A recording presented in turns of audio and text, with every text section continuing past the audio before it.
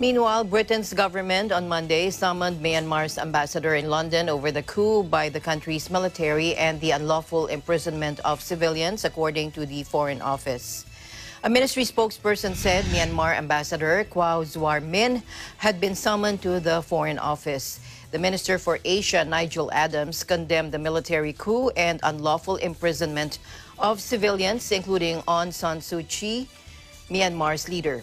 Adams called for assurance over the safety of those detained and for their immediate release, the statement added. And he called for Myanmar's National Assembly to be peacefully reconvened. Earlier Monday, Prime Minister Boris Johnson also posted on Twitter, quote, I condemn the coup and unlawful imprisonment of civilians, including Aung San Suu Kyi in Myanmar. He said the vote of the people must be respected and civilian leaders released.